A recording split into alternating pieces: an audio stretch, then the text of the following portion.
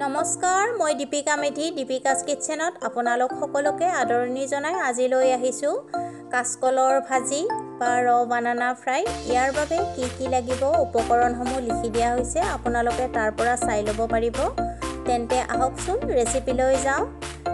ইয়াৰ বাবে আমাক কাচকল দুটা লাগিব। কাচকল দুটা ঠিক ভিডিঅ'টোত দেখুওৱাৰ ধৰণে কাটি ল'ব লাগিব।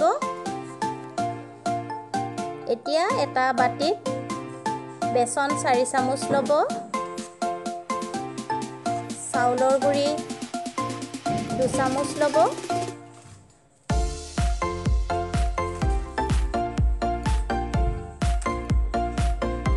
নিমখ ল'ব সোৱাদ অনুসৰি হালধি গুড়ি ল'ব জোখমতে জিৰা গুড়ি আধা চামুচ জলকীয়া গুড়ি আধা চামুচ ল'ব। এতিয়া জোখমতে পানী দি মিশ্ৰণখিনি ভালকৈ ৰেডি কৰি ল'ব।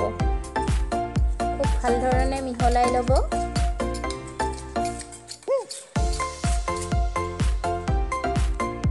ঠিক এনেকুৱা ধৰণৰ মিশ্ৰণখিনি বনাই ল'ব।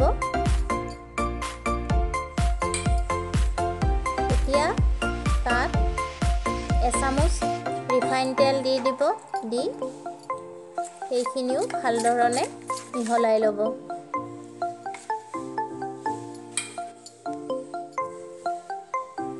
আধা চামুচ বেকিং পাউডাৰ দি সেইখিনিও খুব ভাল ধৰণে মিহলাই ল'ব।